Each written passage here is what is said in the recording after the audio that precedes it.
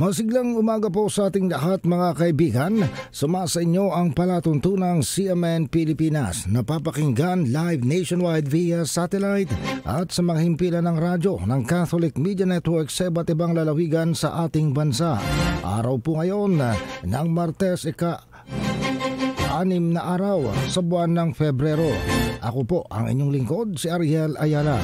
Sa ating mga balita sa araw na ito ng Martes maaliwalas na kalagay ng panahon at uh, maalinsangan ang mararanasan naman sa iba't ibang bahagi ng bansa. Ito ay dahil pa rin sa umiiral na Easterlies na inaasahan hanggang uh, sa araw na ito ayon sa o sa buong araw na ito ayon sa pag-asa. Ang epekto ng Easterlies sa bansa o hanging amihan magiging maganda raw at maaliwalas pero maalinsangan ang panahon sabi pa ng pag-asa. May tsansa pa rin ng localized thunderstorms lalo na sa silangang bahagi ng Luzon, sa lalawigan o sa Cagayan Region, Isabela, Aurora, Quezon at sa bahagi ng Bicol Region.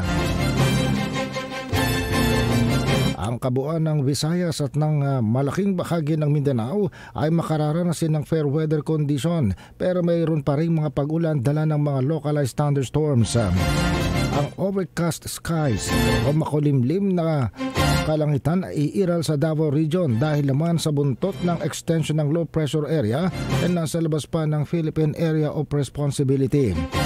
Ayon sa pag-asa, wala namang low pressure area o bagyo na inaasa na papasok o mamumuo sa loob ng Philippine Area of Responsibility sa loob ng dalawang araw. Wala ring gale warning ang nakita ng pag-asa sa anumang bahagi ng karagatan ng ating bansa. Samantalang temperatura sa mga pangunahing lungsod ng bansa sa Metro Manila maalinsangang 23 to 32 degrees Celsius.